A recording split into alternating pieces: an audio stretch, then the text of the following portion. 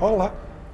Agradecido pela sua audiência, eu quero fazer um convite. No programa Consciência Espírita de hoje, nós vamos ao teatro. Nós vamos assistir uma peça com temática espírita, de um autor espiritual. Mas antes disso, eu quero lembrar a você e me lembrar que o Espiritismo está neste livro que você está vendo aí agora. O Livro dos Espíritos de Allan Kardec. Quem somos, de onde viemos e para onde vamos? As respostas estão no Livro dos Espíritos, lançado na França no dia 18 de abril de 1857. O sobrenatural, o maravilhoso, o extraordinário, o supersticioso caiu por terra com a publicação do Livro dos Espíritos de Allan Kardec, a doutrina dos espíritos que nos ajuda a encontrar desde já uma vida melhor. E olha, vive melhor quem vai ao teatro. E quem vai ao teatro com temática espírita aprende bastante se divertindo. Eu estou recebendo com muito carinho Cristina Machado, que é produtora teatral e produtora de uma peça belíssima, O Céu Pode Esperar. Então, é, O Céu Pode Esperar é adaptação do livro da Vera Lúcia Marinzec de Carvalho e direção e é, adaptação de Milton Merlucci com um elenco maravilhoso. Graças a Deus, um elenco hiper profissional. A peça está agradando muito e estou aqui para convidar os telespectadores para irem, uhum. os internautas, né? Os internautas os estão tudo aí, já estão é. procurando. Eu queria dizer também que a peça de autoria é psicografada pela Vera Lúcia, de autoria do espírito Antônio Carlos. E olha, o local escolhido para a peça vai agradar a muita gente. Claro que não vai agradar a todos. É o Teatro do Corinthians, Rua é São Jorge 777. Nem dá para esquecer. Olha, eu queria que você comentasse um pouquinho. Nós recebemos aí a produção da peça O Céu Pode Esperar, nos enviou belíssimas fotos que a Cristina vai comentar conosco, nos deixando com vontade, com água na boca, de assistir essa peça tão interessante que está no Teatro do Corinthians aos domingos, sete horas da noite. Vamos ao teatro? Bom, a peça é essa, O Céu Pode Esperar. É a trupe teatral paulista. Paulistana. Paulistana. Apresenta O Céu Pode Esperar. Vamos para o céu? Quer dizer, vamos para o teatro? Olha aí. Começou, hein, gente? Então, essa cena é uma cena que o Pedro, quem já leu o livro sabe, quem não leu, é, assiste a peça e lê, ou lê e assiste a peça. É bem interessante. Eu acho maravilhoso esse romance. Aí a, a cena do Pedro, que é o pai Encarnado, né? ele está encarnado. Ele está encarnado e ele está é, recebendo os espíritos, o mentor dele está levando ele é, para ver o filho que desencarnou. Em, em espírito, Isso, durante o sono? Durante, durante o sono. Muito bem. E essa turma aí?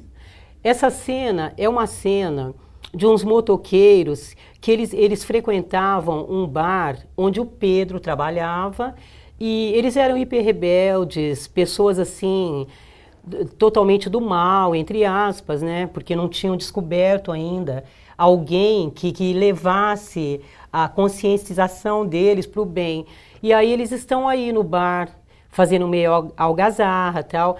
E depois, passado, passados alguns meses, eles ficam totalmente do bem. Eles se conscientizam de que a vida é boa, as pessoas são boas. Eles saem do bar. Eles saem do bar e ficam pessoas, se tornam pessoas totalmente do bem. São maravilhosos. Olha aí, eles estão aí já. Isso. Aí eles estão enfrentando o Pedro, que é o funcionário do bar. E ali tem o, mentor do Pedro, né, na, na cena. É, dando um passe e tal para. Entendi. Aí a turma tá. Isso aí já é o final da peça. É, aí já é o final da peça. Ah, o elenco vendo. agradecendo. O elenco está se aplaudindo, é isso ou não? Não, eles estão aplaudindo o público. Ai, que beleza. Olha aí, olha outra cena muito bonita aí. Então, essa cena é o mentor do Pedro indo até o, o, o- aonde o, o filho do Pedro estava de- depois do desencarne, né? Isso.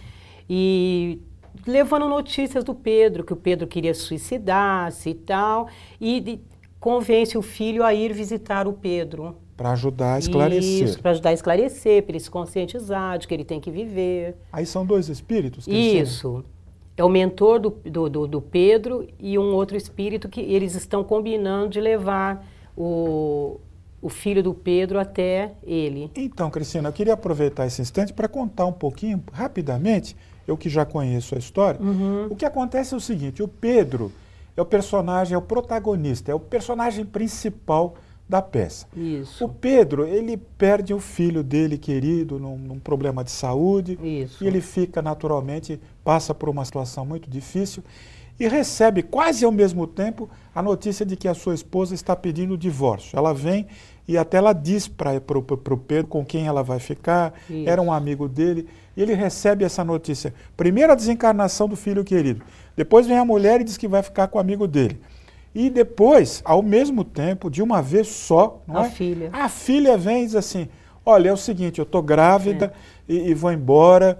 E de repente o Pedro fica sem chão. O mundo parece que caiu na cabeça dele. E ele Exatamente. sabe, não é isso, Cristina? E você também sabe, você é estudiosa do Espiritismo, você sabe que no Espiritismo o maior crime que nós podemos cometer é atentar contra a própria vida.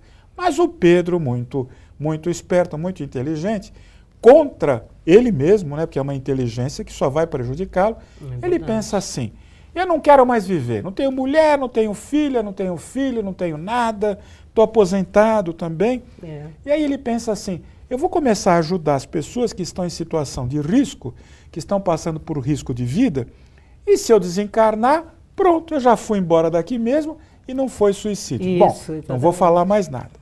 Vamos continuar vendo as fotos, Cristina? Vamos. Já falei demais. Produção? Olha aí os aí. espíritos em cena.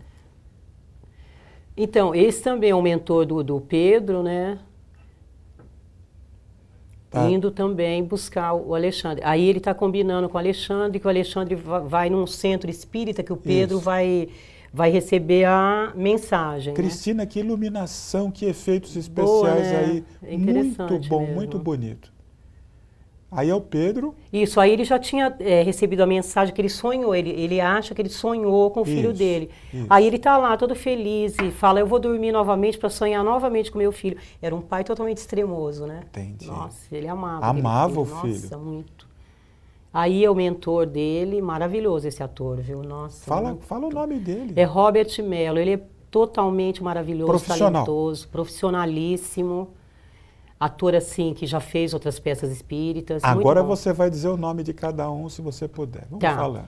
Ali, do, do outro lado, do lado Mas- esquerdo, é o Bruno Previato. Bruno, Previato. isso. No meio, Joana Dark, maravilhosa. Ela também. faz o papel da mulher do Pedro. Isso. E da mentora também. Isso. É, Robert Mello E aquela e a mocinha- Renata Pena. Aquela mocinha de azul. Isso, ali. que ela faz o, o filho, né? Renata Pena. Hum, entendi. Vamos para a próxima foto. Pronto. Os três, novamente, Bruno Previato, Joana Dark e é, Robert Mello. Então, eh, se eu entendi, vamos voltar essa foto. Se eu- vamos voltar à foto anterior. Uhum. Então, aí a mulher do Pedro, mas ela, ela está com dois, dois espíritos, é isso? Isso.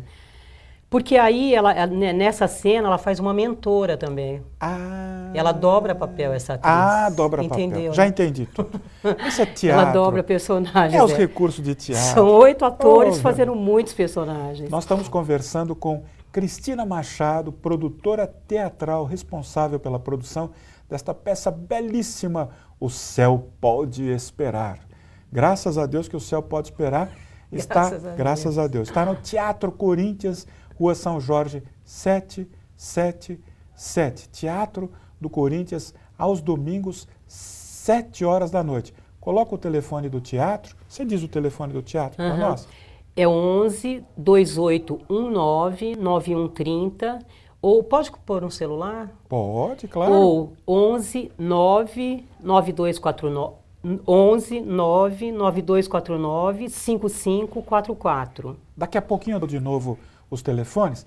Nós estamos no programa Consciência Espírita visitando uma peça espírita que nós recomendamos, uma produção caprichada, inteligente, um teatro de aprendizado para toda a família. E olha, a família precisa acessar o site www.fesp.org.br. Espiritismo, Federação Espírita do Estado de São Paulo, aberta em São Paulo de segunda a segunda para ajudar a você a viver melhor. Eu volto daqui a pouquinho com a Cristina Machado.